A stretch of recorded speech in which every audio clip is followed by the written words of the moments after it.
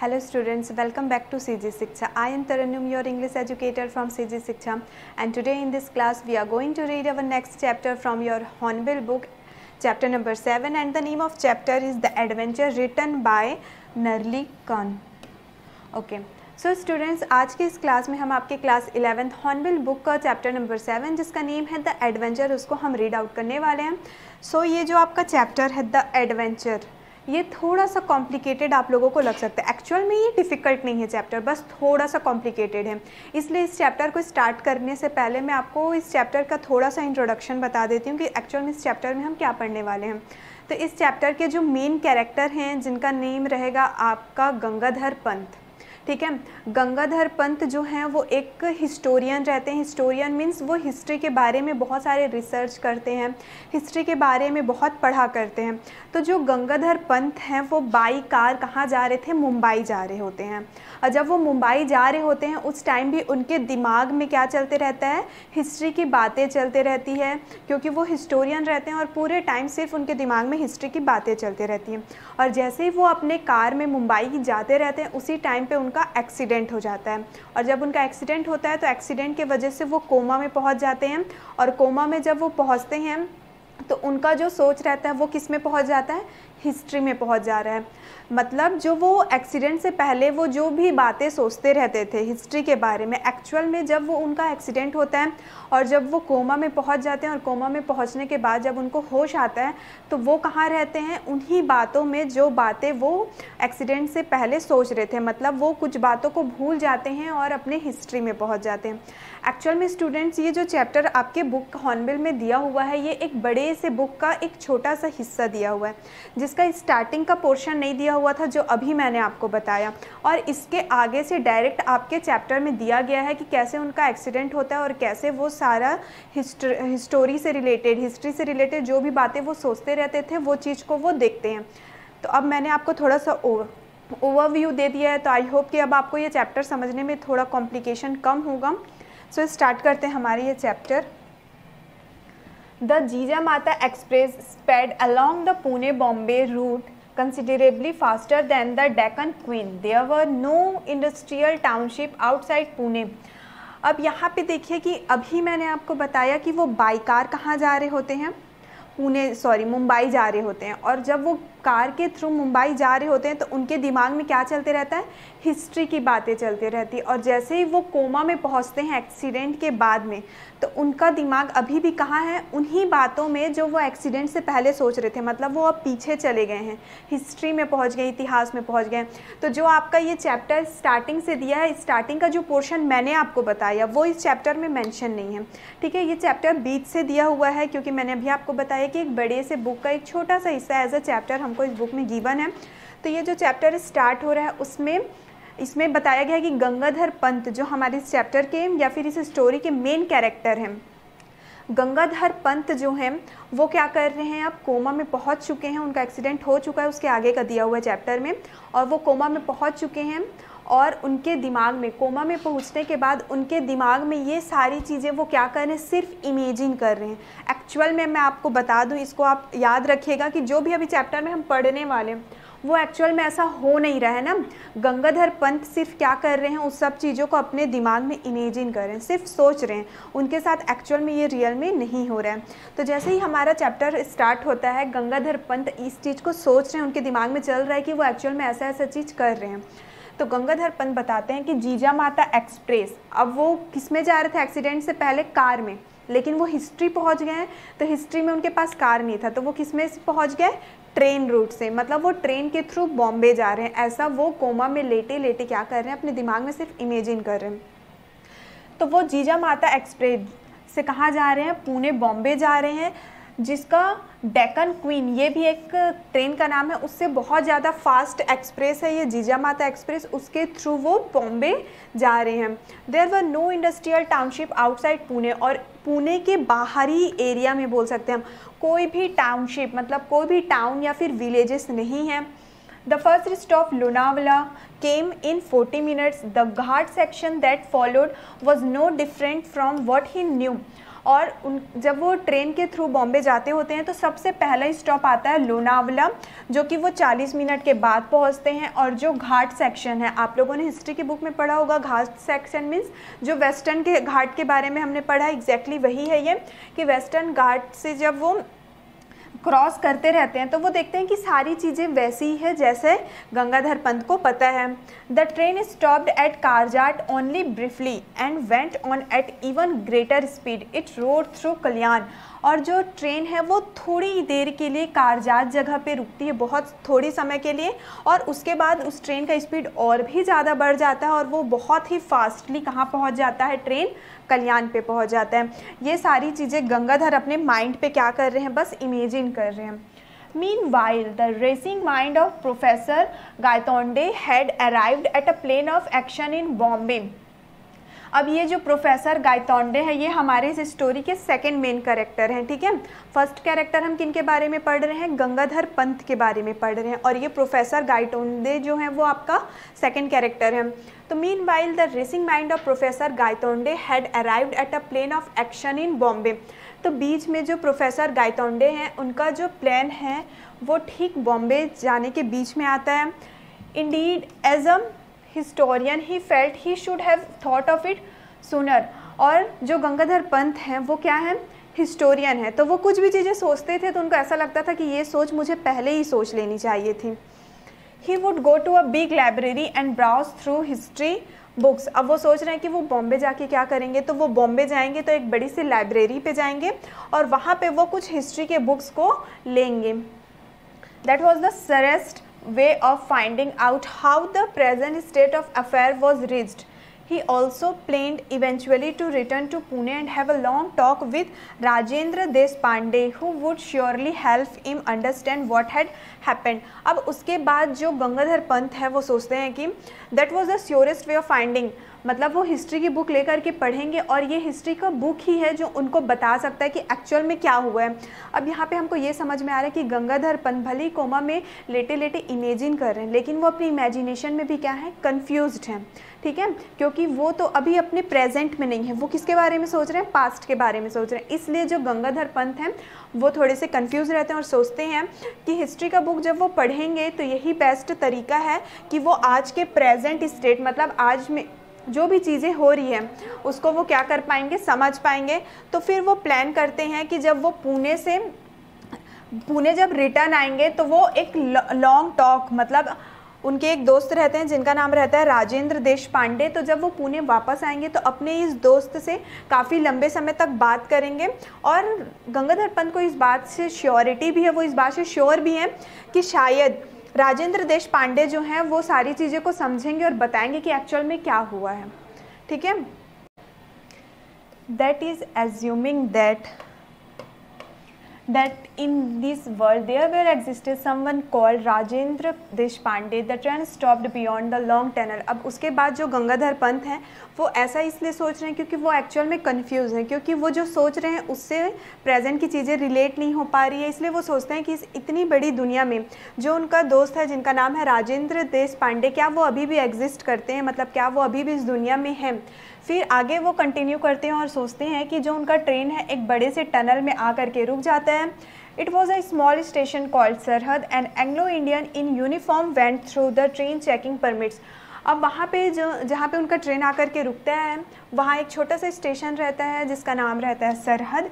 और उस सरहद स्टेशन पे कुछ एंग्लो इंडियंस एंग्लो इंडियंस कौन होते हैं, जो आउट ऑफ़ इंडिया से आकर के पूरे तरीके से इंडिया में आकर के सेटल्ड हो जाते हैं। तो जो एंग्लो इंडियंस मैन लोग रहते हैं, उन लोग वहाँ पर टिकट चेकिंग करते रहते हैं। This is where the British Raj begins you are going for the first time I presume Khan Sahib आग्स्ट और यहाँ से अब इस स्टेशन के आगे का जो एरिया है, वहाँ पे ब्रिटिश राज मीन्स जहाँ पे अंग्रेज़ों का शासन हुआ करता था, वो राज अब चालू होता है और वहाँ पे उस ट्रेन के अंदर एक खान साहिब नाम के एक इंसान बैठे हुए रहते हैं, जो कि गंगाधर पंत से पूछते हैं कि मुझे ऐसा लग रहा है कि आप पहली बार क्या कर रहे हैं ट्रैवलिंग कर रहे हैं। Yes the reply was factually correct Gangadhar Pant had not been to this Bombay before. He ventured a question, and Khan Sahib, how will you go to Peshawar? तो जैसे ही जो खान साहब है, वो गंगाधर पंत से पूछते हैं कि आप शायद पहली बार क्या कर रहे हैं? ट्रैवलिंग कर रहे हैं? पहली बार आप बॉम्बे जा रहे हैं? तो गंगाधर पंत बहुत ही करेक्टली जवाब देता है कि हाँ मैं पहली बार बॉम्बे जा रहा हूँ। उसके बाद जो गंगाधर पंत रहते हैं, इससे पहले वो कभी भी बॉम्बे नहीं जाए रहते हैं। और उसके बाद वो खान साहब से क्वेश्चन पूछते हैं कि खान साहब, आप किस तरीके से पेशावर जाएँगे? This train goes to the Victoria Terminus I will take the Frontier Mail tonight out of Central तो खान साहब रिप्लाई करते हैं कि ये जो ट्रेन जिस पे हम लोग बैठे हुए हैं, जीजा माता एक्सप्रेस ये विक्टोरिया टर्मिनस तक जाता है और मैं आज की रात सेंट्रल से क्या लूँगा? एक फ्रंटायर मेल लूँगा। How far does it go by what route उसके बाद गंगाधर पंत फिर से क्वेश्चन करते हैं कि ये जो ट्रेन है, वो कितनी दूर तक जाता है और कौन से रास्ते से होकर के जाता है?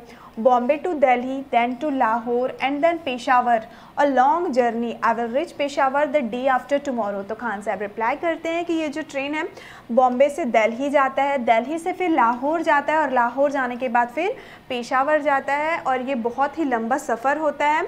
और खान साहब बता रहे हैं कि मैं the day after tomorrow means एक दिन के बाद, परसों मैं क्या करूँगा? पेशावर पहुँच पाऊँगा। Thereafter Khan Sahib spoke a lot about his business and Gangadhar Pant was a willing listener और इसके बाद जो खान साहब है, वो अपने बिज़नेस को लेके काफ़ी सारी बातें गंगाधर पंत से करते हैं और गंगाधर पंत उनकी बातों को सुनते हैं। For in that way he was able to get some flavour of life in this India that was so different और जब उन लोग बात करते रहते हैं तो उस टाइम पे to get some flavour of life means अपनी ज़िंदगी का फ्लेवर मीन्स बहादुरी कि पेशावर में और इंडिया के लोगों में। पेशावर के लोगों और इंडिया के लोगों का लाइफ कितना डिफरेंट है, ये सारी चीज़ें वो अब सोचने लगते हैं। The train now passed through the suburban rail traffic उसके बाद जो ट्रेन है, वो सब अर्बन एरिया से होकर के गुजरता है। The blue carriages carried the letters GBMR on the side. Greater Bombay Metropolitan Rail, Railway explained Khan Sahib. और उसके बाद जैसे ही उन लोग सब अर्बन रेल ट्रैफ़िक से होकर के गुजरते हैं तो जितने भी कैरेजेस मतलब रेल का जो डिब्बा होता है ठीक है? तो जितने भी कैरेजेस लोग रहते हैं, उसमें एक लेटर लिखा हुआ होता है। और वो लेटर्स कौन कौन से होते हैं? G B M R G B M R का फुल फॉर्म क्या होता है? ग्रेटर बॉम्बे मेट्रोपॉलिटन रेलवे ये खान साहेब गंगाधरपन को समझाते हैं। See the tiny union jack painted on each carriage a gentle reminder that we are in British territory और हर एक कैरेज में छोटे छोटे यूनियन जैक भी क्या हुए रहते हैं? पेंट हुए रहते हैं। मतलब ट्रेन के हर एक डिब्बे में ये letter G B M R लिखा होता है और छोटा छोटा जैक पेंट हुआ रहता है ताकि लोगों इस बात को रिमाइंड कर सके कि अब उन लोग ब्रिटिश टेरिटरी में मतलब अंग्रेज़ों का जहाँ शासन होता है, उस राज्य में अब क्या कर रहे हैं? आने वाले हैं। The train began to slow down beyond Dadar and stopped only at its destination, Victoria terminus. अब जो ट्रेन है, वो थोड़ा सा उसका स्पीड स्लो हो जाता है। उन लोग अब दादर स्टेशन पे रुक जाते हैं और यहाँ के बाद मतलब दादर स्टेशन में रुकने के बाद वो ट्रेन जो है डायरेक्ट अपने डेस्टिनेशन मतलब अपनी मंजिल विक्टोरिया टर्मिनस में जा कर के रुकता है। The station looked remarkably neat and clean जो स्टेशन है, वो बहुत ही काफ़ी साफ़ सुथरा दिखाई देता है the staff was mostly made up of Anglo Indians and Parsis along with a handful of British officers और वहाँ पे उस स्टेशन में जितने भी स्टाफ वाले रहते हैं उसमें से कुछ लोग एंग्लो इंडियंस के रहते हैं कुछ लोग रहते हैं पारसीज के और कुछ लोग जो रहते हैं वो ब्रिटिश ऑफिसर्स रहते हैं As he emerged from the station, Gangadhar Pant found himself facing an imposing building. और जैसे ही वो स्टेशन तक पहुँचते हैं तो गंगाधर को एक बिल्डिंग दिखाई देता है। वो बिल्डिंग कौन सा होता है? आगे हम रीड करेंगे। The letters on it proclaimed its identity to those who didn't know this Bombay landmark और उस बिल्डिंग के ऊपर जो भी लेटर लिखा रहता है, वो इस बात को प्रोक्लेम प्रोक्लेम इस इस बात को अनाउंस कर रहा होता है कि वो ही बिल्डिंग का क्या है? पहचान है। जो लोग उस बॉम्बे लैंडमार्क को मतलब बॉम्बे को नहीं जानते हैं, वो उस बिल्डिंग में लिखे हुए लेटर्स को पढ़ करके जान जाएँगे कि वो बिल्डिंग एक्चुअल में क्या है। और वहाँ पे क्या लेटर लिखा होता है? East India House headquarters of the East India Company East India Company का वो ईस्ट इंडिया हाउस का मतलब हेड क्वार्टर रहता है, ठीक है? मतलब जितने भी ईस्ट इंडिया कंपनी के जो वर्क्स होते थे, ये इस हेड क्वार्टर्स में होते थे। जो बिल्डिंग्स गंगाधर पंत ने देखा, वो एक्चुअल में कौन सा बिल्डिंग था? हेड क्वार्टर था ईस्ट इंडिया कंपनी वालों का। Prepared as he was for many shocks professor Gaitonde had not expected this उसके बाद जो वॉज़ फॉर मैनी सॉक उनको बहुत सारे सॉक्स मिलते हैं। सॉक्स मीन्स कि वो कुछ और सोचे रहते हैं, उनको उस बॉम्बे में बहुत कुछ अलग दिखाई देने लगता है। वो सोचते हैं कि उनके इमेजिनेशन क्योंकि उनका इमेजिनेशन कहाँ है अभी? पास्ट में। आपको फिर से बता दूँ स्टूडेंट जो भी हम लोग रीड कर रहे हैं एक्चुअल में गंगाधर पंथ इसको क्या कर रहे हैं? सिर्फ़ कोमा में लेटे लेटे इमेजिन ही कर रहे हैं। तो वो इमेजिन करते हैं तो उनको बहुत सारे शॉक्स लगते हैं कि वो एक्चुअल में वो पास्ट का सोच रहे हैं, और प्रेजेंट में तो बहुत सारी चीज़ें चेंजेस हैं। इसलिए बहुत सारे उनको सॉक्स मिलते हैं, जो प्रोफेसर गायतोंडे हैं, वो इन सब चीज़ों को एक्सपेक्ट नहीं कर रहे होते हैं। The East India Company had been wound up shortly after the events of 1857 at least that is what history books said फिर वो सोचते हैं कि जो ईस्ट इंडिया कंपनी है वो 1857 के इंसिडेंट से 1857 में जो घटना हुई थी, उससे पहले क्या हुए थे? वर्ड अप हुए थे। और कम से कम ये वाली बात तो हिस्ट्री बुक से हम, मेरे को पता चली है। ऐसा गंगाधर पंत सोच रहे हैं, क्योंकि बहुत सारी चीज़ें तो उसके अगेंस्ट उनको लग रही है। तो कम से कम एक चीज़ तो ऐसी है जो हिस्ट्री बुक से मुझे कन्फर्म पता चली है। Yet here it was not only alive but flourishing So history had taken a different turn. Perhaps before 1857, how and when had it happened? He had to find out. अब उसके बाद वो सोचते हैं कि हिस्ट्री में कई सारी वो बुक वगैरह पढ़े उनको कई सारी चीज़ें चेंजेस लगी और ये चीज़ लगा कि हाँ हिस्ट्री बुक ने मुझे ऐसा बताया है और हिस्ट्री आगे वो सोचते हैं कि हिस्ट्री में भी बहुत सारी चीज़ें अब चेंज हो गई हैं शायद 1857 के इंसिडेंट्स उस टाइम पे जो भी घटना हुआ था, उसके पहले की सारी चीज़ें बदल गई हैं। और ये सब कुछ कब और कैसे हुआ? मुझे ये चीज़ों का पता लगाना है। ऐसा गंगाधर पंत अब अपने माइंड में सोचते हैं। अब उनको क्या करना है कि हिस्ट्री में ये सारी चीज़ें कैसे चेंज हो गई और कब चेंज हो गई? ये क्वेश्चन को अब वो ढूँढने लग जाते हैं। अब वो ढूंढेंगे कैसे इस क्वेश्चन का आंसर अब हम आगे रीड करेंगे। As he walked along Hornby Road, as it was called, he found a different set of shops and office buildings. अब उसके बाद वो चलते चलते हॉर्नबाय रोड ये एक रोड का नाम है तो हॉर्नबाय रोड में वो चलते हुए जाते हैं। वहाँ पे वो देखते हैं कि वहाँ पे कई सारा दुकान होता है कई सारे ऑफिसेज होते हैं कई सारे बिल्डिंग्स होते हैं।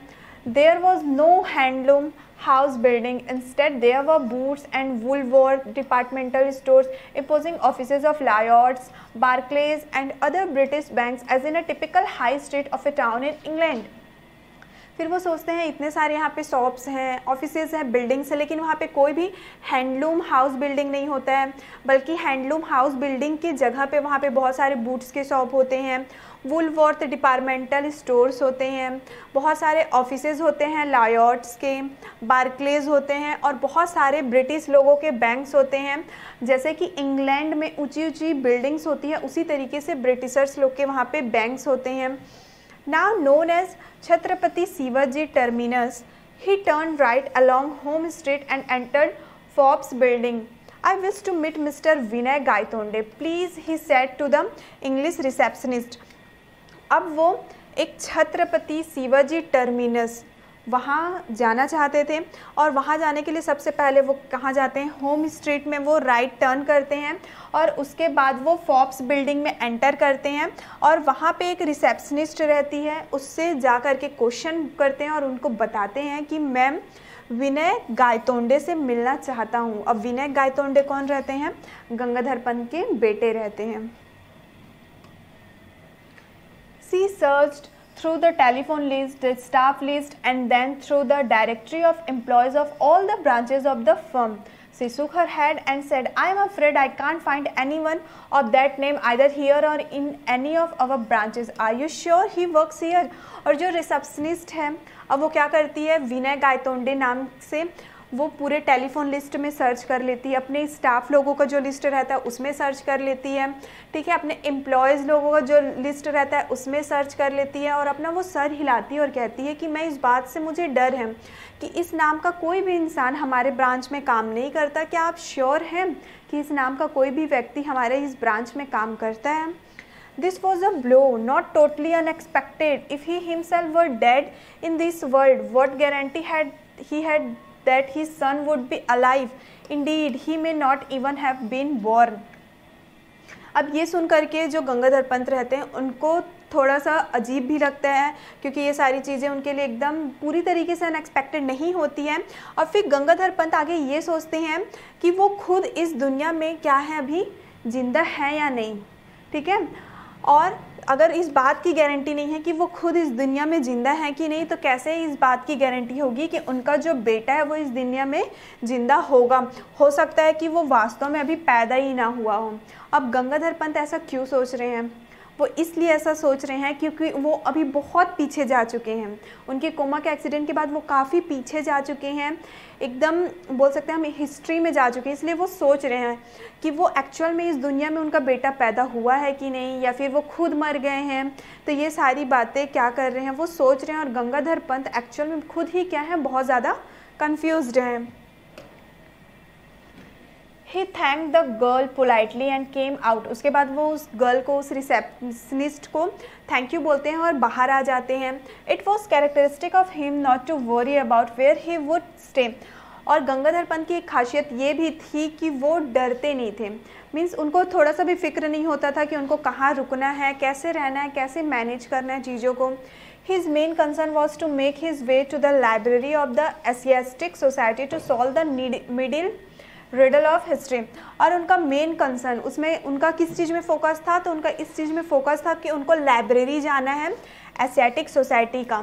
और वहाँ जाके लाइब्रेरी में कुछ बुक्स पढ़ने हैं और उनको हिस्ट्री का जो रिडल है, जो कन्फ्यूज़न है उनके लाइफ में, उसको उनको क्लियर करना है। Grabbing a quick lunch at a restaurant he made his way to the town hall और उसके बाद वो अपना लंच खा लेते हैं रेस्टोरेंट में और उसके बाद वो टाउन हॉल की ओर चले जाते हैं। सो so, स्टूडेंट इस चैप्टर में आप देख सकते हैं कि part wise one two three four and five parts में हमको ये चैप्टर दिया गया था है। और ये यहाँ पे आपका फ़र्स्ट पार्ट कंप्लीट होता है। इसके आगे हम जो पढ़ेंगे वो इस स्टोरी का सेकेंड पार्ट हम रीड करेंगे। Yes to his relief the town hall was there and it did house the library he enter the reading room and asked for a list of history books including his own अब वो राहत की सांस लेते हैं थोड़ा सा town hall पहुँच जाते हैं वो, और वहाँ पहुँचने के बाद वो फाइनली लाइब्रेरी में पहुँच जाते हैं। लाइब्रेरी में वो रीडिंग रूम के अंदर एंटर करते हैं और रीडिंग रूम के अंदर जैसे ही वो जाते हैं तो वो कुछ हिस्ट्री बुक के लिस्ट दे देते हैं और उस लिस्ट में उनका खुद का लिखा हुआ बुक भी क्या होता है? इंक्लूड होता है, शामिल होता है।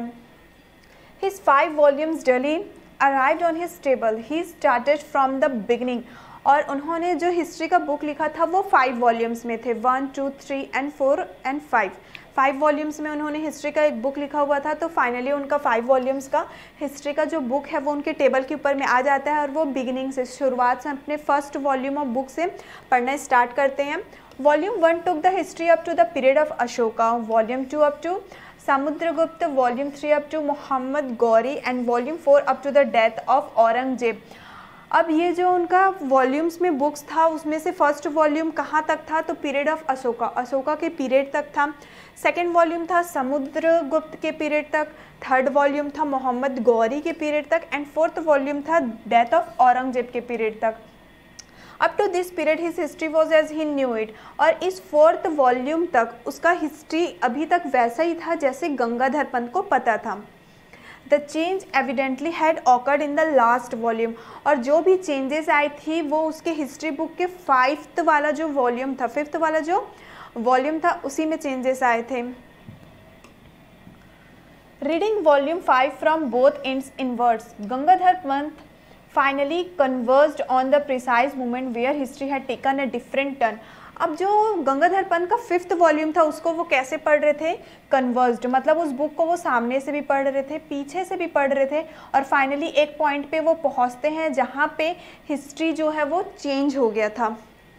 That page in the book describe the battle of Panipat and it mention that the Marathas won it handsomely और वो जो पेज था, वो ये डिस्क्राइब कर रहा था पानीपत में जो बैटल हुआ था, जो युद्ध हुआ था, और उसमें ये लिखा हुआ था कि मराठाज ने वो युद्ध को क्या कर लिया था? जीत लिया था। लेकिन एक्चुअल में हमको पता है स्टूडेंट्स हमने हिस्ट्री बुक्स में भी पढ़े हैं कि जो ये पानीपत का लड़ाई हुआ था बैटल ऑफ़ पानीपत, उसमें एक्चुअल में वॉन नहीं हुआ था। उसमें लोग क्या हुए थे?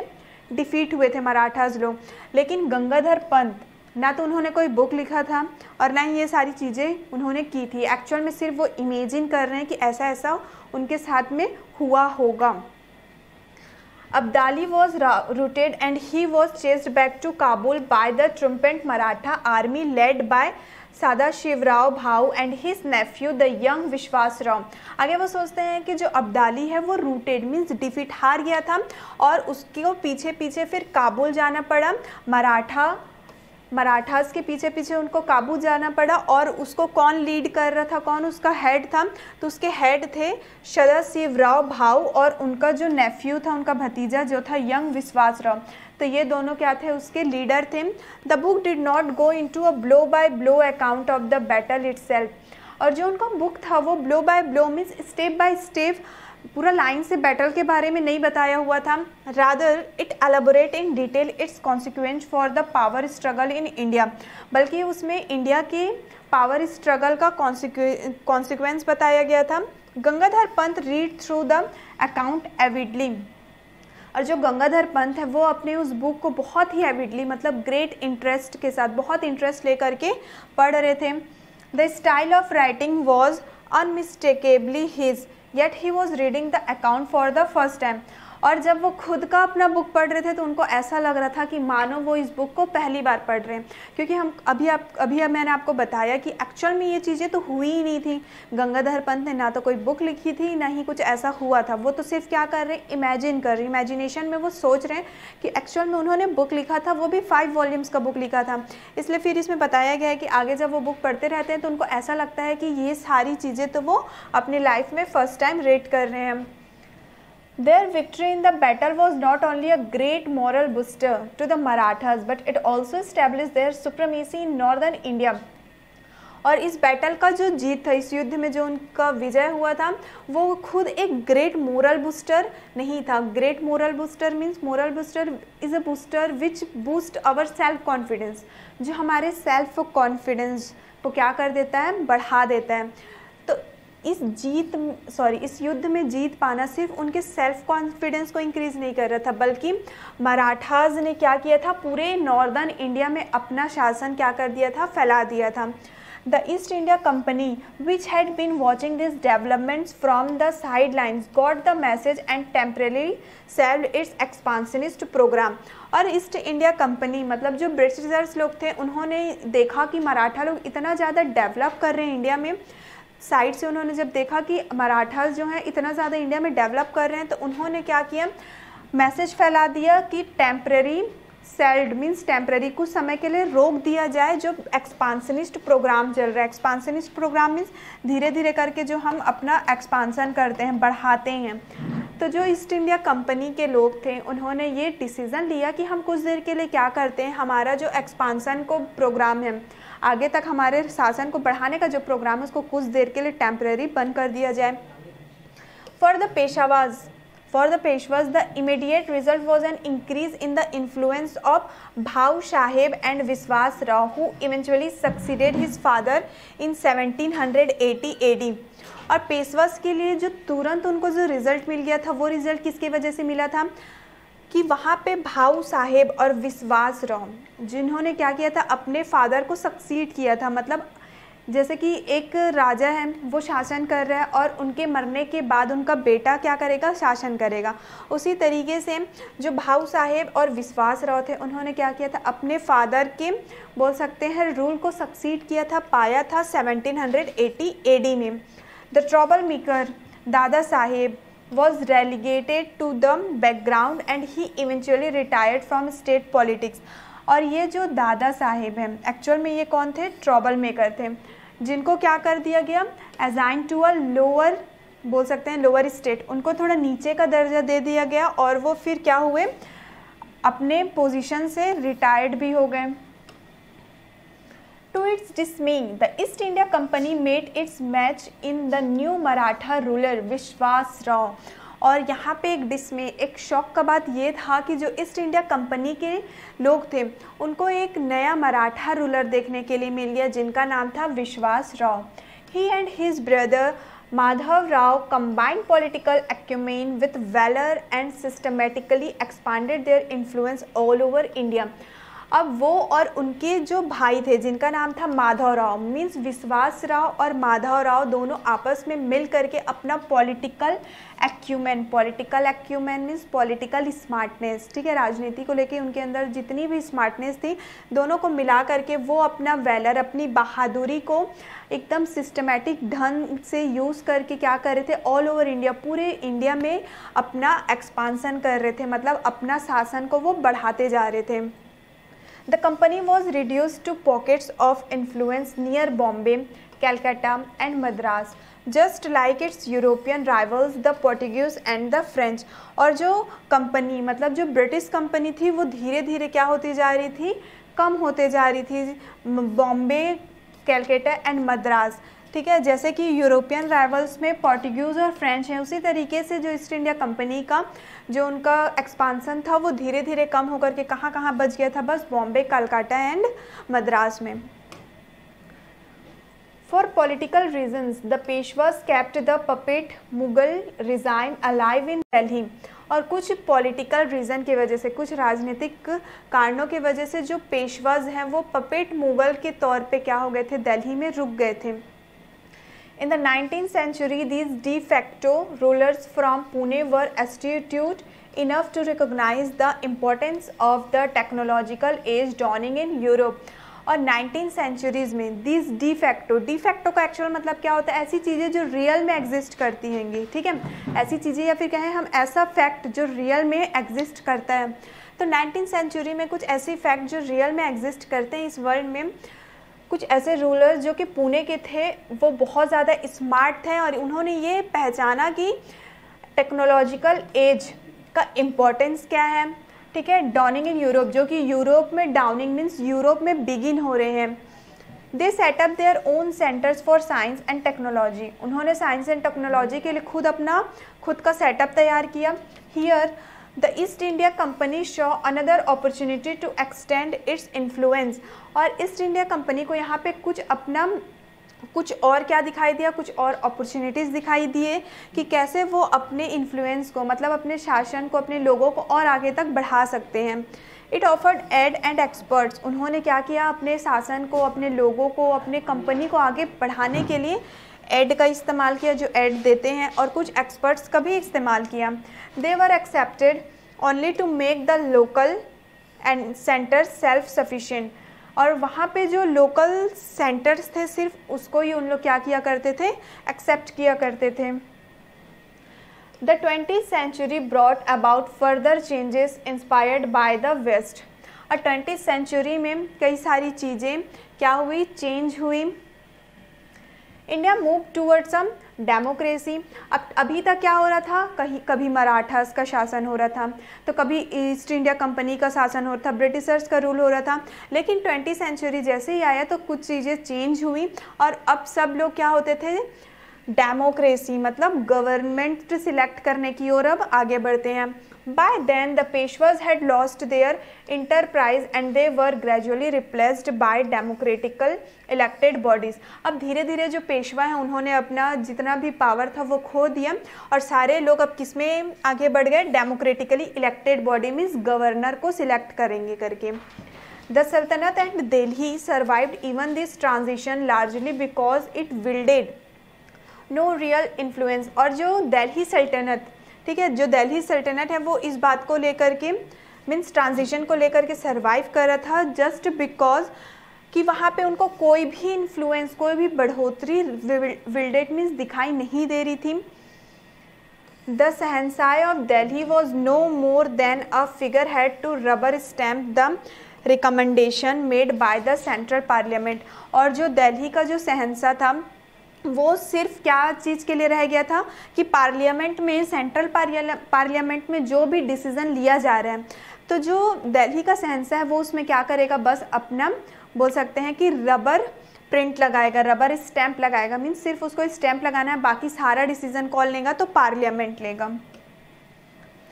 As he read on Gangadhar Pant began to appreciate the India he had seen और ये सारी बातें पढ़ते पढ़ते, ये सारी बातें क्या कर रहे हैं? गंगाधर पंत अभी हिस्ट्री के बुक में पढ़ रहे हैं। तो जैसे वो ये सारी बातें पढ़ते रहते हैं तो गंगाधर पंत जो है, वो इंडिया को क्या करने लग जाते हैं? अप्रिशिएट करने लग जाते हैं। उनको इंडिया को लेकर के वो सराहनीय महसूस करते हैं।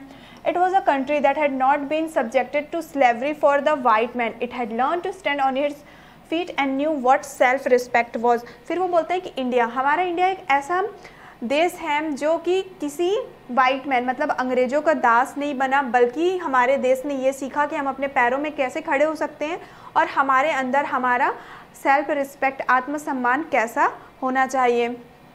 From a position of strength and for purely commercial reason it had allowed the British to retain ठीक है? For from a position of strength and purely commercial reason strength और प्योरली कॉमर्शियल रीज़न के कुछ position से ले करके उन्होंने क्या किया? ब्रिटिश को रिटेन तक का परमिशन दे दिया अलाउ कर दिया। Bombay as the sole outpost on the subcontinent that lease was to expire in the year 2001 according to a treaty of 1908 और जो बॉम्बे का आउटपोस्ट था मतलब मिलिट्री कैंप जो था तो अब तक जो भी चीज़ें चल रही थी, उसको लीज करने के लिए 1908 में जो उनका ट्रीटी बना था, ठीक है? अकॉर्डिंग टू ट्रीटी ऑफ़ 1908 मतलब 1908 में जो भी उनका ट्रीटी बना था, वो कब जाके ख़त्म होने वाला था? 2001 में। Gangadhar Pant could not help comparing the country he knew with what he was witnessing around him और गंगाधर पंत हैं जो कि कंपेयर नहीं कर पा रहे थे उस कंट्री को, जो भी चीज़ मतलब वो जानते हैं, उस चीज़ को ले करके वो आगे कंपेयर नहीं कर पा रहे थे। But at the same time he felt that his investigation were incomplete लेकिन उसी टाइम पे उनको ये महसूस होता है कि अभी भी उनका खोज जो है वो अधूरा है। How did the Marathas win the battle फिर वो सोचते हैं कि मराठाज इस युद्ध को कैसे जीत सकते हैं? To find the answer he must look for the account of the battle it और इस सवाल का जवाब ढूँढने के लिए वो क्या करते हैं? बैटल का, युद्ध का बुक पढ़ने का सोचते हैं। He went through the books and journals before him at last among the books he found one that gave him the clue it was Bhausahebanchi बाखर और उसके बाद वो बुक लेने के लिए जाते हैं। वहाँ पे जर्नल से पहले ही वहाँ पे बुक लेने के लिए पहुँच जाते हैं। और जब वो बुक लेने पहुँचते हैं तो वहाँ पे उनको एक क्लू मिलता है। और ये जो आपको गिवन है, Bhausahebanchi Bakhar it is the name of book ये एक बुक का नाम है, जिसमें ये सारे बैटल्स के बारे में मैंशन है। तो उनको ये बुक मिलता है और इसी बुक को पढ़ करके वो जानना चाहते थे कि एक्चुअल में कैसे मराठास ने उस बैटल को विन कर लिया था। Although he seldom relied on the Bhakars for his historical evidence, he found them entertaining to read. और उसके बाद वो धीरे धीरे जो भाकर्स थे ठीक है? मतलब जो ये बुक है भाकर्स उनको बहुत सारे हिस्टोरिकल एविडेंस मतलब इतिहास से जुड़ी हुई सबूतें मिलते गई और उन्हों उनको पढ़ने में बहुत ज़्यादा मज़ा आ रहा था। Sometimes buried in the graphic but doctored accounts he could spot the gem of truth यहाँ पे सबसे पहले तो हम डॉक्टर्ड अकाउंट का मतलब समझते हैं। डॉक्टर्ड अकाउंट हम उस चीज़ को बोल सकते हैं जिसमें जो हिस्ट्री हिस्टोरिकल चीज़ें हैं, वो क्या हो जाती है? चेंज हो जाती है। तो जब वो बुक को पढ़ रहे थे तो कई बार उनको ऐसा लग रहा था कि वो डॉक्टर्ड अकाउंट है। ठीक है, जो उनके सच्चाई का क्या है, एक तरीके का जम है। He found one now in a three lines account of how close Vishwas Rao had come to being killed अब उनको एक चीज़ मिलता है, एक लाइन मिलता है, उस लाइन के थ्री लाइन ठीक है, उस लाइन के थ्री लाइन्स पहले वो रीड करते हैं कि विश्वास राव ने कैसे, विश्वास राव कैसा मारा गया and then Vishwas Rao guided his horse to the melee where the elite troops were fighting and he attacked them and God was merciful a short bruised past his ear. Even the difference of a teal season would have led to his death अब यहाँ पे जो विश्वास राव है उस, उन्होंने क्या किया था? अपने हॉर्स को गाइड किया था कि कैसे मैली मैली मीन्स अ ब्रेव फाइट जहाँ पे उनका पूरा का पूरा जो ट्रूप है ट्रूप यहाँ पे किसका है? ब्रिटिश ट्रूप जो ब्रिटिश लोगों का पूरा झुंड था ब्रिटिश ब्रिटिश ट्रूप से कैसे वो लड़ाई करेंगे, कैसे एक दूसरे के बीच अगर उनके बीच अटैक हो रहा है, फिर आगे बता रहे हैं वो कि जो गॉड हैं वो बहुत ही ज़्यादा मर्सीफुल है मीन्स हमारे ऊपर हमारे जो गॉड हैं वो बहुत दया दिखाते हैं। और एक एग्ज़ाम्पल के थ्रू बता रहे हैं कि जैसे कि आपने तिल देखा होगा, जिसको इंग्लिश में हम सीजेम कहते हैं, ठीक है? सीजेम सीड जो आपके किचन में होता है, तिल, एक छोटा सा तिल जितना दूरी होता है एक छोटा सा तिल वैसे ही उसके गन और कान के बीच का सिर्फ़ उतना ही डिस्टेंस था। At 8 o'clock, the librarian politely reminded the professor that the library was closing for the day. अब आठ बज जाए रहते हैं। गंगाधर पंत जो है अभी भी लाइब्रेरी में बैठ करके पढ़ते रहते हैं। तो जैसे ही आठ बजता है वहाँ का जो लाइब्रेरियन रहता है वो बहुत ही विनम्रतापूर्वक आता है और गंगाधर पंत को याद दिलाता है कि अब आठ बज गया है लाइब्रेरी बंद करने का समय हो चुका है। Gangadhar Pant emerged from his thoughts. Looking around, he noticed that he was the only reader left in that magnificent hall. Gangadhar Pant जो रहते हैं वो काफ़ी सोच में पड़े हुए होते हैं फिर वो देखते हैं अपने चारों तरफ़ और वो इस बात को नोटिस करते हैं कि उस मैग्निफिशेंट इन इतने बड़े से हॉल में वो एक अकेले ही अब रह गए हैं वहाँ पढ़ने वाले I beg your pardon, sir. May I request you to keep these books here for my use tomorrow morning? By the way, when do you open? At 8 o'clock, sir. The librarian smiled. Here was a user and researcher right after his heart. उसके बाद जो गंगाधर पंत हैं वो उनसे थोड़ा sorry feel करते हैं और बोलते हैं कि मैं आपसे रिक्वेस्ट कर रहा हूँ कि ये सारी बुकें आप इस टेबल के ऊपर ही रहने दीजिए ताकि मैं नेक्स्ट मॉर्निंग आकर के यहाँ फिर से पढ़ सकूँ फिर गंगाधर पंत उस लाइब्रेरियन से क्वेश्चन करते हैं कि वैसे ये लाइब्रेरी कितने टाइम ओपन होता है तो लाइब्रेरियन रिप्लाई करता है कि सुबह आठ बजे फिर लाइब्रेरियन स्माइल करने लग जाता है और वहाँ पर जो गंगाधर पंत रहते हैं वो यूज़र भी रहते हैं और रिसर्चर भी रहते हैं As the professor left the table, he sewed some book notes into his right pocket. Absent-mindedly, he also sewed the Barker into his left pocket. अब वहाँ पे गंगाधर पंत जब बुक पढ़ रहे होते हैं, उस टाइम पे उन्होंने कुछ इंपॉर्टेंट नोट्स बनाया हुआ होता है। तो वो उन नोट्स को अपने लेफ़्ट पॉकेट में रखते हैं और गलती से वो उस बाकर का जो बुक रहता है, उसको अपने राइट पॉकेट में रख लेते हैं। और यहाँ पर ये हमारा सेकेंड पार्ट भी कंप्लीट होता है। अभी इसके आगे हम अपना थर्ड पार्ट कंटिन्यू करेंगे। He found a guest house to stay in and had a frugal meal. He then set out for a stroll towards the Azad मैदान और उसके बाद वो एक गेस्ट हाउस पे जाते हैं, वहाँ रुकते हैं और वो कुछ फ्रूगल मील रहते हैं। फ्रूगल मीन्स जो सादा सा खाना होता है, जो बहुत ही लेस सॉरी लेस अमाउंट का रहता है, जो कम पैसे में मिल जाता है और सिंपल सा रहता है। तो वो उस गेस्ट हाउस में पहुँचते हैं, अपना फ्रूगल मील लेते हैं और उसके बाद वो आज़ाद मैदान में थोड़ा सा स्ट्रोल मीन्स वॉक करने के लिए निकल जाते हैं। In the maidan he found a throng moving towards a pandal अब वहाँ पे जैसे ही वो मैदान में मैदान में पहुँचते हैं, वहाँ पे वो देखते हैं कि कुछ थ्रॉन्ग मतलब कुछ क्राउड लोगों की भीड़ जो है वो पंडाल पे जा रही है। पंडाल आप लोगों को पता होगा, जो हम लोग स्टेज टाइप का बनाते हैं। So a lecture was to take place force of habit to professor Gaitonde towards the pandal अब वहाँ पे ए, उनको ऐसा लगता है पंडाल को देख करके कि हो सकता है वहाँ पे कोई एक लेक्चर होने वाला है जो कि उनका आदत रहता है। वो एक प्रोफेसर रहते हैं गंगाधर पंत गायतोंडे। तो वो एक प्रोफेसर रहते हैं और उनकी आदत रहती है कि जहाँ भी वो लेक्चर वगैरह देखते हैं वो वहाँ पे पहुँच जाते हैं। तो ये सारी चीज़ें देख करके जो गंगाधर पंत गायतोंडे हैं वो भी पंडाल की ओर जाने लग जाते हैं। The lecture was in progress although people kept coming and going but professor Gaitonde was not looking at the audience अब जो लेक्चर है, वो चालू हो चुका होता है। लोग वहाँ पे आते रहते हैं, जाते रहते हैं, लेकिन जो प्रोफेसर गायतोंडे हैं, वो वहाँ के लोगों की ओर नहीं देखते हैं। He was staring at the platform as he mesmerise there was a table and a chair but the latter was unoccupied फिर वो लोगों को ना देख करके वहाँ पे किसको देखते हैं? प्लेटफॉर्म को। वो उस स्टेज को देखते हैं और वो थोड़े से सॉफ्ट रह जाते हैं कि वहाँ पे एक टेबल भी है चेयर भी है, लेकिन वहाँ पे कोई इंसान नहीं है। The presidential chair unoccupied, the side steered him to the depths. Like a piece of iron attracted to a magnet, he swiftly moved towards the chair. फिर वो देखते हैं कि वहाँ पे जो प्रेसिडेंशियल चेयर है मतलब स्टेज के ऊपर में जो टेबल चेयर रखा हुआ है वो पूरी तरीके से खाली है और ये देख करके वो एकदम से हिल जाते हैं और जिस तरीके से एक मैग्नेट चुंबक का टुकड़ा जो है वो लोहे से क्या होता है अट्रैक्ट हो जाता है उसी तरीके से जो गंगाधर पंत हैं, वो भी क्या हो जाते हैं, उस प्रेसिडेंशियल चेयर की तरफ़ अट्रैक्ट हो जाते हैं मतलब वो अब उस खाली चेयर की ओर जाने लग जाते हैं।